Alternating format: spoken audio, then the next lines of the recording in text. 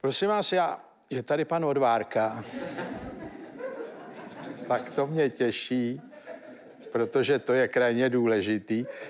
Prosím vás, já jsem si všimnul, já totiž nerad zaostávám takhle za něčím, tak um, tady jsem si připravil, co vlastně dneska je trend v, jaksi v účesech u mužů. Eh, tohle se mi zdá například velmi zajímavý. Eh, já na to zatím teda nemám jako odvahu, ale je to jeden z mála účesů, na kterých bych mohl mít dostatek vlasů. Eh, tadyhle to je taky pěkný, protože vzadu toho jako moc není, ale dožene se to tím rozpustilým takovým jaksi rozčesáním. Pak tady máme tohle, to je jenom vzadu. Mně to přijde, abych to nazval vzpomínka. Vlasy byly, někam šli, vypadá to, že dozadu. No, ale tak je to dobrý, že tomu pánovi rostou aspoň vzadu. Tohle to je výborný zvýraznění toho obličeje, to se mi zdá moc dobrý. To je prostě citlivý, jak si, že ta kulatost není nikde narušená.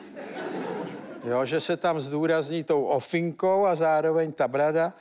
Je to zajímavý pohled sám na sebe. Tohle to mě zaujalo taky, protože to je vlastně, že to vypadá, že si dal kníra na čelo. Ale ne svýho kníra, cizího. Svýho kníra on má. Zajímavý způsob. Tohle je takový jako to je člověk, který má rád třásně a nestydí se za to. prostě takový. Třeba se zase má upřímný pohled, ale tohle je pěkný, protože to už je jako bludiště a tady ta pasáž dole si všimněte, to už je jako ke zvířátku, jako by takový eh, nějaký hadí vohon. Je to zajímavý a jsou tam nějaký symboly, Bůh ví, co to všechno znamená. Tohle nejlepší. To je prostě krysa, co leze ze zad na temeno na to už musíte mít kuráž. To je osobnost. Tak, to by bylo všechno.